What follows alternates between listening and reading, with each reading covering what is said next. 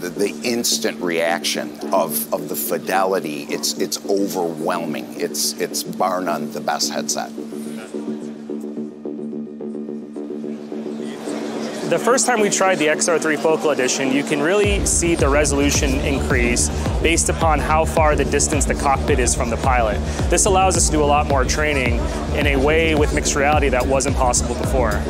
Well, the Varjo XR3 Focal Edition is really allowing us to see how affordable we can make our simulation devices and deliver them at the point of need.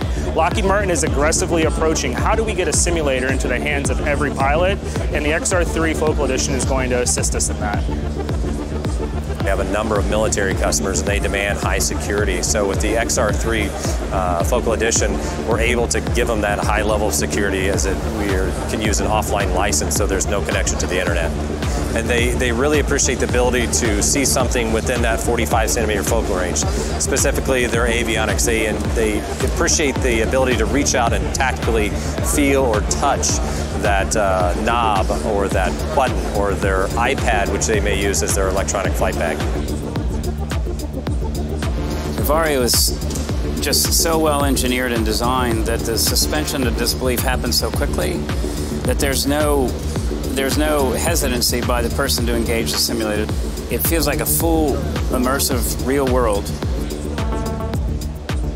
The Focal Edition specifically allows you to sit close to cockpit interfaces and be able to see sharp images inside the headset for the real world interface much better